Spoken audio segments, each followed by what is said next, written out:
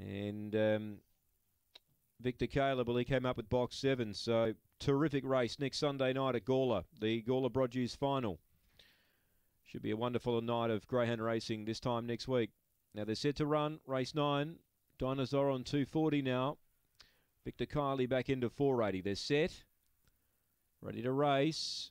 Away, Dinosaur on slow again, speeding out Charlotte Street. Favourite back last. Charlotte Street now tackled by in the middle Victor Kiley. Rushing up behind them, Dinosaur makes good headway from Turbo Grand, Gonna Gambler. Electra Brandy, Emily again shuffled back. Last Midnight McQueen. Now the leader Victor Kiley, but Dinosauron's into the clear and is powering home over the top. Dinosauron too good.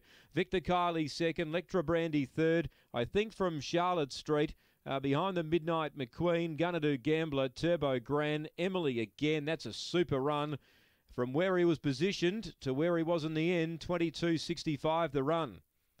Dinozauron, number one, certainly had to manoeuvre a passage, and he did that. Blew out to 3.30 in the end, but's got the money. Dinozauron, too good for Lisa Rasmussen. He was last down the back, and normally when you're last over the 388 at Angle Park, you've got a lot of work to do. And he manipulated a path to work through them down the back, and he peeled to the outside.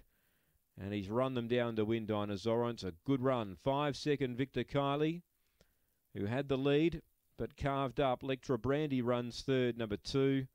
And fourth, number three, Charlotte Street, who flew out of the boxes, but. Uh, struggled to run the 388. 22.65 the time.